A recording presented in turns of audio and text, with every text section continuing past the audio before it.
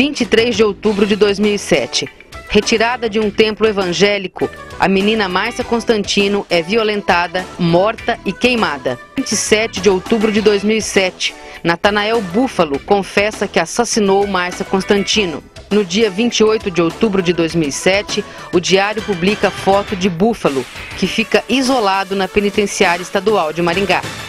No dia 30 de outubro de 2007, mais uma manchete sobre o caso da menina de 10 anos que foi assassinada.